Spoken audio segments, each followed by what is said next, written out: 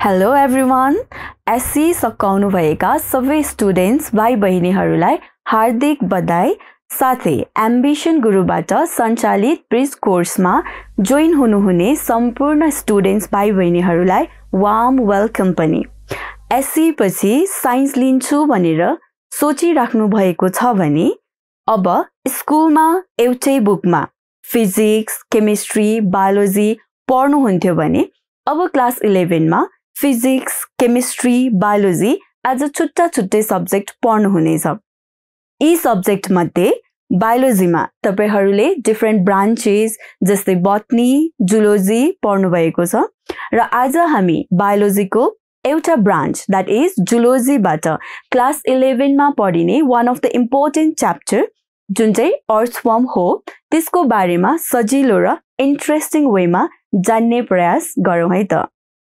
Earthworm so earthworm सुरु गर्नु अघि हामी जानौँ यो अर्थवर्म कुन किङडममा पर्छ कुन फाइलममा पर्छ कुन क्लासमा पर्छ अर्थवर्मको जिनस के स्पेसिस के?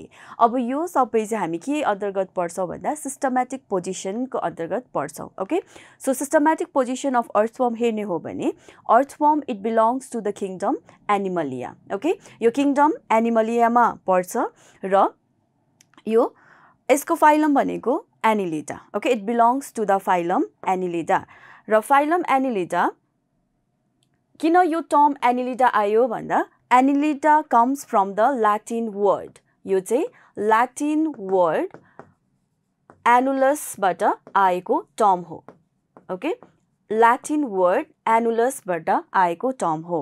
र एनुलस भन्नाले चाहिँ के बुझिन्छ भन्दा एनुलस भन्नाले ring like okay it means ring like अब अर्थवम त तपाईँहरूले देख्नुभएको छ. एज वेल एज स्क्रिनमा पनि तपाईँहरूले यहाँ अर्थवम देख्न सक्नुहुन्छ. र अर्थवमको एक्सटर्नल स्ट्रक्चर हेर्ने हो भने हामी यहाँ के देख्छौँ त? यसको बाहिरपट्टि यसरी हामीले रिङ लाइक स्ट्रक्चर देख्छौँ। यो ओके? यसलाई नै हामीले के भन्यौँ त? एनुलस त्यही एनुलस टर्मबाट के आयो त यसको फाइलमको नाम? एनिलिडा आउन गयो okay? So ring like structure present छ भने चाहिँ हामी यस त्यसलाई कुन फाइलममा राख्ने गर्छौँ? एनिलिडामा र अर्थवमको पनि सेम स्ट्रक्चर हुने भएकोले यसलाई राखियो phylum Annelida now next one it belongs to the class Oligochaeta okay न ओलिगो केटा भन् भन्नाले त्यो क्लास जुनमा चाहिँ locomotory organ there is presence of setae as a locomotory organ okay यसमा चाहिँ एज अ लोकोमोटरी अर्गेन चाहिँ setae present हुन्छ ओके त्यस त्यो अर्गेनिजम्सहरूलाई चाहिँ क्लास ओलिगो केटामा राखिएको छ र अर्थवर्मको लोकोमोटरी अर्गेन भनेको सिटे हो। त्यसैले यसको क्लास भनेको ओलिगो केटा। लेटर अन सिटेको बारेमा हामी detailly पढ्नेछौँ okay let's see its genus genus भनेको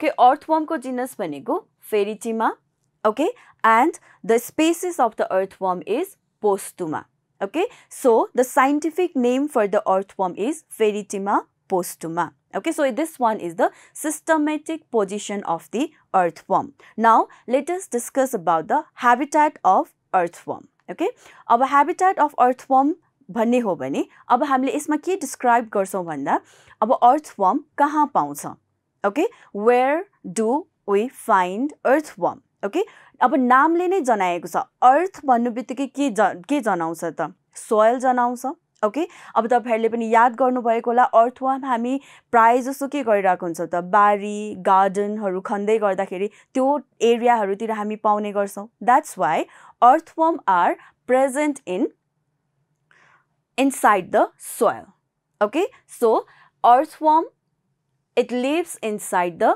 soil its it habitat okay र सोयलमा पनि कस्तो टाइपको सोयलमा पाउँछ त? अब मैले अघि गार्डन भने एज वेल एज बारी भनेर भने ओके त्यस्तो त्यस्तो ठाउँमा कस्तो सोयल प्रेजेन्ट हुन्छ त? त्यस्तो ठाउँमा प्रेजेन्ट हुने सोयल भनेको चाहिँ मोइस्ट सोयल हुन्छ which are rich in dead and decaying matter okay so त्यस्तो टाइपको सोयलमा चाहिँ के पाउने गर्छ त? अर्थवर्म पाउने गर्छ okay now in those soil also they live in the burrow okay they live in burrow अब यो बरोमा पनि they the burrow depth of the burrow is of about thirty to sixty centimetre यो बरोको depth पनि about thirty to sixty centimetre हुन्छ but during the dry season अथवा हामी विन्टर सिजनको कुरा गर्न सक्छौँ यो ड्राई सिजनको कुरा गर्ने हो भने यो सिजनमा चाहिँ यो in the search of moisture मोइस्चरको सर्चमा चाहिँ अर्थवम अझ डिपर अझ डेफ्थमा जाने गर्छ र बरो चाहिँ यसको two two two point five metre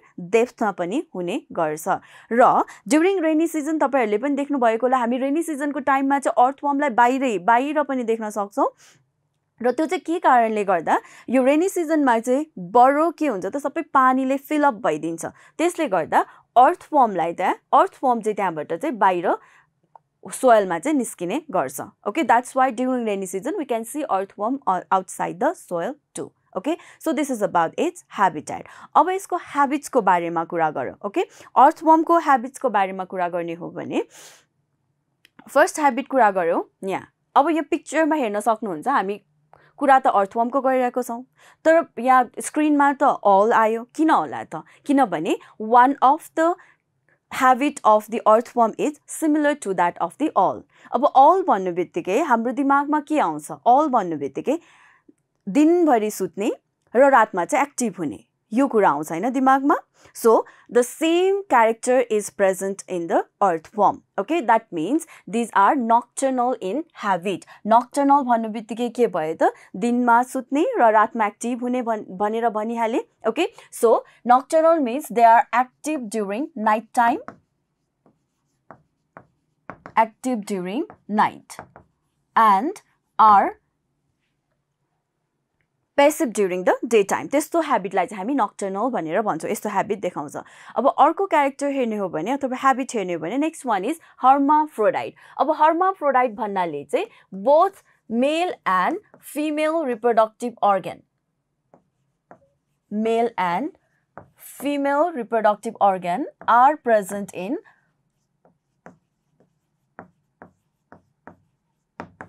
organ are present in same individual in same individual okay एउटै इन्डिभिजुअलमा चाहिँ both male and female reproductive organ present छ भने त्यस्तो टाइपको अर्ग्यानिजम्सलाई हामी हर्माफ्रोडाइट भनेर भन्छौँ र अर्थवर्म पनि हर्माफ्रोडाइट अर्ग्यानिजम्स हो। तपाईँहरूले यहाँ स्क्रिनमा पनि देख्न सक्नुहुन्छ। यहाँ के देख्छौँ त? टेस्टिज भनेर देख्छौँ। टेस्टिज भनेको त्यो स्ट्रक्चर हो जसलाई चाहिँ हामीले मेल प्राइमरी सेक्स अर्ग्यान भनेर भन्छौँ किनभने यसले मेल ग्यामेज प्रड्युस गर्छ okay within the same individual यो एउटै अर्थफर्ममा हामी अर्को स्ट्रक्चर केही पनि देख्छौँ भन्दा यहाँ ओभरी पनि देख्छौँ। र ओभरी के हो त यो फिमेल रिप्रोडक्टिभ अर्ग्यान हो। र यो फिमेल रिप्रोडक्टिभ अर्ग्यानले के प्रड्युस गर्छ त?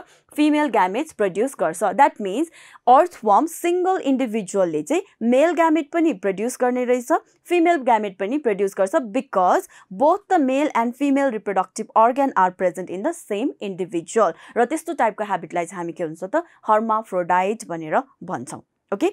र जेनरली यो हर्माफ्रोडाइट अर्ग्यानिजम्सहरू चाहिँ सेल्फ फर्टिलाइजेसन गर्ने गर्छ किनभने मेल ग्यामेट पनि एउटै बडीले इन्डिभिजुअलले प्रड्युस गरिरहेछ फिमेल ग्यामेट पनि एउटै इन्डिभिजुअलले चाहिँ प्रड्युस गरिरहेछ. द्याट्स वाइ सेल्फ फर्टिलाइजेसन चाहिँ हामी जेनरली पाउने गर्छौँ। तर अर्थवर्मको केसमा हेर्ने हो भने अर्थवर्मको केसमा चाहिँ instead of being hermaphrodite they shows cross fertilization okay? अर्थवर्मले चाहिँ क्रस फर्टिलाइजेसन देखाउँछ। ओके क्रस फर्टिलाइजेसन भन्नाले चाहिँ कस्तो त? The gamete from one in earthworm fuse with the gametes of the another earthworm okay यो वान अर्थवर्म हो भने यो सेकेन्ड अर्थवर्म हो भने okay this one is one and this one is second earthworm अब यो हो भने के हुन्छ त the gametes from here male gametes from this one earthworm fuse with the female gametes of the second earthworm similarly male gametes of the second earthworm fuse with the female gametes of the first earthworm त्यसैले यो cross fertilisation हुन्छ र यो के कारणले हुन्छ भन्दा it is due to the protandrous nature due to the protandrous nature. अब यो प्रोट्यान्ड्रस नेचर भन्नाले चाहिँ कस्तो नेचर त जसमा चाहिँ male gamete mature earlier than female gamete okay? यो भन्नाले चाहिँ कस्तो भन्दा यसको मेल ग्यामेट जुन स्पम हुन्छ त्यो चाहिँ के हुन्छ त? Mature earlier than female gametes earlier than female gametes अब यस्तो नेचरलाई चाहिँ हामी के भन्छौँ त? प्रोट्यान्ड्रस नेचर भनेर भन्छौँ। Due to this reason earthworm आफू हर्माफ्रोडाइट हुँदाहुँदै पनि सेल्फ फर्टिलाइजेसन नगरेर यसले के गर्छ त? क्रस फर्टिलाइजेसन फलो गर्छ। That means male gametes of one earthworm fuse with the female gametes of the another earthworm अब यहाँ स्ट्रक्चरमा पनि देखिरहेछ यो स्ट्रक्चरले के जनाइरहेछ भन्दा यो copulation process during which what is happening male gametes of the one earthworm is being exchange with the male gametes of the another earthworm र यो प्रायः जसो copulation as well as breeding चाहिँ कुन टाइममा हुन्छ त it occurs during the rainy season and during the night time okay now let us see the next one okay यहाँ स्क्रिनमा फेरि देख्न सक्नुहुन्छ यहाँ कुहिएको भेजिटेबल्सहरू देखिरहेछौँ हामीले dead and decaying vegetables okay so अर्थवर्मको food भनेको चाहिँ कस्तो हुन्छ त यो? Decaying vegetables as well as organic debris along with the moist soil okay so these are the food for the earthworm okay अब अर्को कुरा गरौँ वार्म कास्टिङ अब यो वार्म कास्टिङ भनेको चाहिँ when the undigested food in the form of round pellets are released out from the earthworm okay that is called as worm casting त्यसलाई चाहिँ हामी वर्म कास्टिङ भनेर भन्छौँ ओके र अर्को अब इनेमिजको बारेमा कुरा गरौँ अर्थवर्मको एनिमिजहरू के केहरू हो त यहाँ स्क्रिनमा देख्न सक्नुहुन्छ यो के हो? हजुरहरूलाई थाहा छ okay this one is frog frog is also one of the enemies of earthworm similarly अर्को यहाँ देख्न सक्नुहुन्छ बर्ड्सहरू बर्ड्सहरूले पनि के गर्छ त? अर्थवर्मलाई एज अ फुड खाने गर्छ। So these are the enemies for earthworm frog हुनसक्छ टोड्स हुनसक्छ बर्ड्सहरू हुनसक्छ मोल्सहरू हुनसक्छ। These are the natural enemies of the earthworm okay? Now let us see few mcq questions that are related to the information that i gave you right now okay? First question here oh. what is the scientific name of earthworm or scientific name of earthworm ho first option is Pheretima, second option Ascaris, third option Hirudinea, fourth option Fasciola. Okay अब यो मध्ये कुन हो त? हामीले पढिसकेको छौँ scientific name of the earthworm Pheretima posthuma भनेर भनेको थियो हो। सो फेरिटिमा कहाँ देख्छौ त?